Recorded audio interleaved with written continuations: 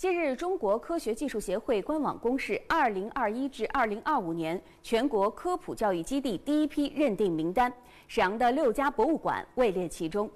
按照要求，经评审，共有800家单位拟认定为全国科普教育基地，其中含博物馆、纪念馆165家。据悉，沈阳六家入选的博物馆分别为沈阳理工大学兵器博物馆、沈阳铁路陈列馆、辽宁古生物博物馆。辽宁中医药大学博物馆、沈阳大学自然博物馆、沈阳工业博物馆。